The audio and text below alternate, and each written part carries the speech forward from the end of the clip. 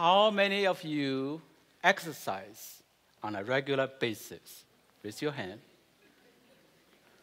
Feels good, right? But you know that I will say something opposite. Too much exercise can be bad for your body, right? because, because of tears and injuries, right? As a matter of fact, our daily life consists of motion and exercise. Just like you stretch your muscles, or the heart is beating and pumping blood. That can cause internal injuries. Our body must have a defense mechanism to combat such injuries, without which we will not have a hand, not a heart, not even life. This is a story I'd like to share with you all today. Imagine a person has a heart attack. The blood flow stops. Wouldn't it be wonderful to have a medicine that can be administered on site to save the person's life? Imagine a football player in our team injured on the field with a concussion. What can we do? Our comrade soldier is facing a life threatening injury on the battlefield in need of urgent medical care to stop the bleeding and the trauma. An elderly person is suffering on a daily basis of Alzheimer's disease with chronic loss of memory. How can we help? What we need is regenerative medicine, a medical intervention that can either prevent the injury from happening or can repair the injury after its occurrence. Regenerative medicine is the medical, the defense uh, mechanism for our human bodies. You may be wondering why I'm showing this picture of a salamander. The salamander is a unique animal species. It has amazing defense capacity. It can repair and regrow a broken limb very quickly and efficiently. Our human body cannot. Now imagine, what if there is a pixie dust you can sprinkle to the wound site or deliver to the body at a time of urgent need that can cure or alleviate the traumatic injury, just like the salamander. Where do we go for such pixie dust, to find such pixie dust? Within our human body, there are approximately 25,000 genes that are distributed in the 23 different chromosomes. As a medical researcher, our task is to identify the function of the individual genes and to understand how they interact together to support life and to build a defense against human diseases. Out of the 25,000 genes, we were able to pinpoint a group of genes. They all consist of the tripartite motif, known as the TRIM proteins. The TRIM proteins contains 75 members in our human body. Through serendipity, actually involved a lot of work, we encountered this gene called MG53. Here I illustrate the structure of the gene using the different colored circles. The yellow circle is named the RING motif, which stands for a really interesting new gene. It is.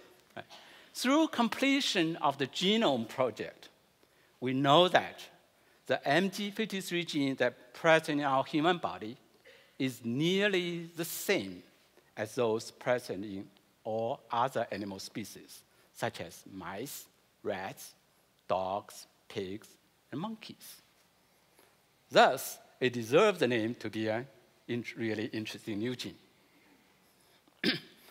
MG53 was identified by my co-worker and students about 10 years ago. And we show that it can function as a molecular bandage to repair tissue injury. Shown here are three cells that has been treated with MG53, the pixie dust, which is labeled the bright green color.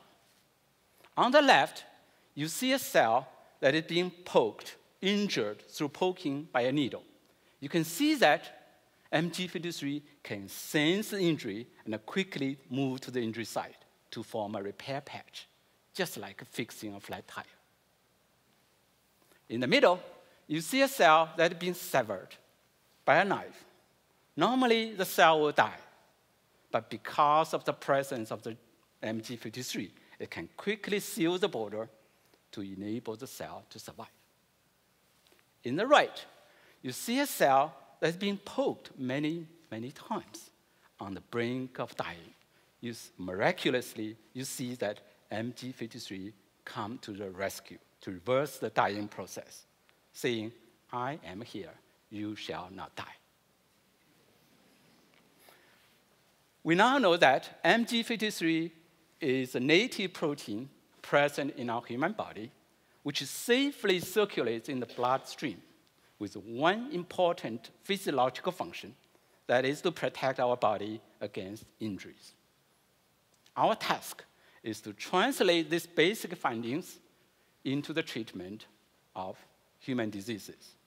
Using a more common medical term, we call this a mission of moving from bench to bedside. From a regenerative medicine point of view, we are looking for prophylactic ways to prevent tissue injury or therapeutic ways to treat injuries. Our journey started with testing MG53 in animal models of heart injury. Shown here on the left is a picture of a heart attack in a pig, as evidenced by the appearance of the large pale region, indicating the dying heart cells. On the right, you see a heart that also suffered a heart attack, but has been received MG53 protein via IV infusion. Clearly, this is a much healthier heart. The pale region has disappeared. The heart cells are no longer dying. From this study, we know the value of MG53 can be potentially used to treat human heart diseases. As we age, our body's defense capacity declines, leading to the loss of mobility and memory. Is there a role for MG53 in brain function? Shown here are pictures of mice that has neuromuscular disease, which is equivalent to the ALS disease in humans. They cannot move on the left because of injury to the muscle and the neuron in the brain. On the right, you see the littermate mice that also have the same disease, but have been treated with MG53 protein. Look at how active and mobile they are. These findings support the potential value of using MG53 to treat chronic brain injuries in the human disease such as ALS or Alzheimer's. Treatment of wound, especially those non-healing chronic wounds and ulcers, is perhaps the largest medical burden in our society. MG53 protein in the form of a topical cream, which I have one, can facilitate healing of dermal wounds. In the middle panel, you see an example of a second degree coffee burn before and after MG53 application. In the right, you see a picture of a chronic injury in an elderly person. You can see that with application of MG53, the wound heals without visible scarring. Mitigation of scarring is one unique feature of MG53. These findings shall have important implications to the wound care and personal care field, where there is a great need for wrinkle and scar reduction. With proper formulation, one can envision that the engineered MG53 protein can be used to treat surgical non-healing wound, diabetic ulcers, pressure ulcers in the elderly.